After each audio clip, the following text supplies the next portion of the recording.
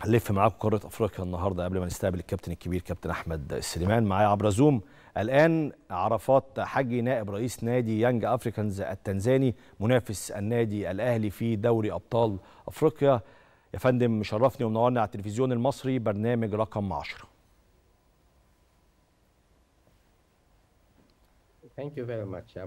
شكرا جزيلا. الشرف لي أن أتواجد معكم في هذا اللقاء على على التلفزيون المصري.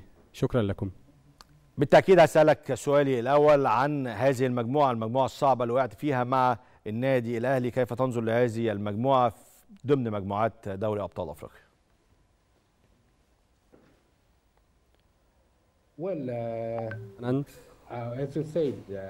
كما قلت بجانب الأهلي أن تتواجد بجانب الأهلي فهذا أمر صعب. لدينا لدينا فرق جيدة في المجموعة وخصوصا في مرحلة المجموعات يجب أن تكون أن تكون مستعدا جيدا.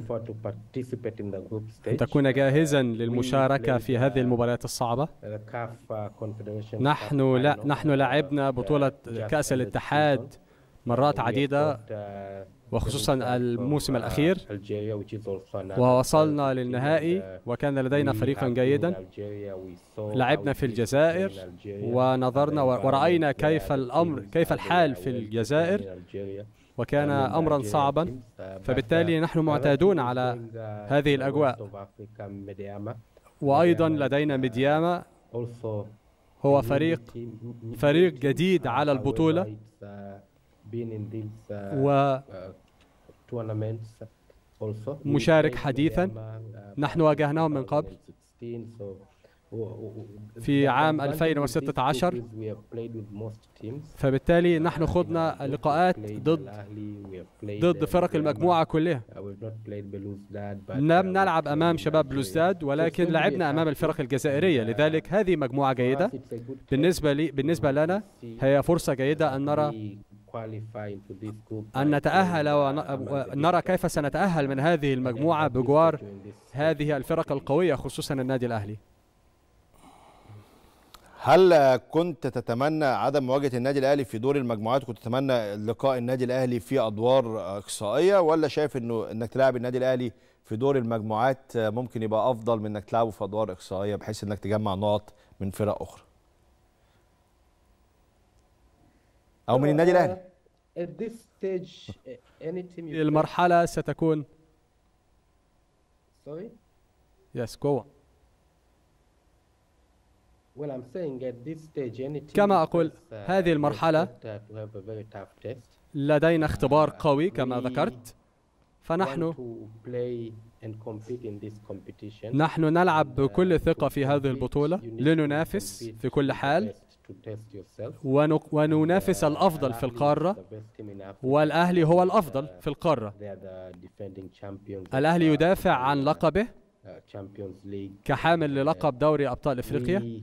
فنحن نحن نهدف أن نصل لنهائي البطولة الحالية.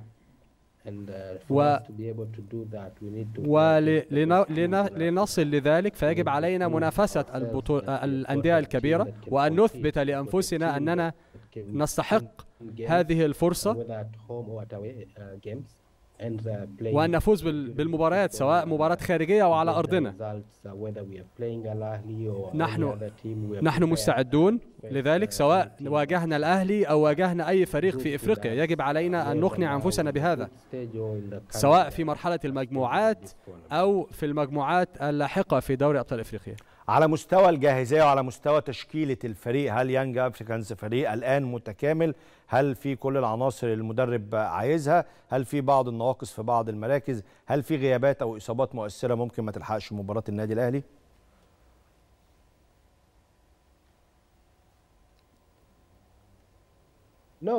لا.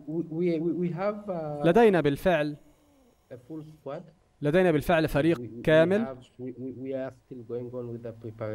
لدينا لدينا فريق مستعد. قمنا بكل الاستعدادات الخاصة ب وأيضا لدينا لاعبون من المنتخب المحلي من المنتخب الوطني. لدينا لاعبون مشاركون بالفعل منذ سنوات مع الفريق. وأيضا سيكون لدينا استخدامات ولكن هذا في الم... في الانتقالات القادمة. السؤال القادم ليك هو سؤال خيالي خيالي بعض الشيء. لو قلت لك آه، تتمنى لاعب أو اتنين من النادي الأهلي يكونوا موجودين في فريقك مين هم؟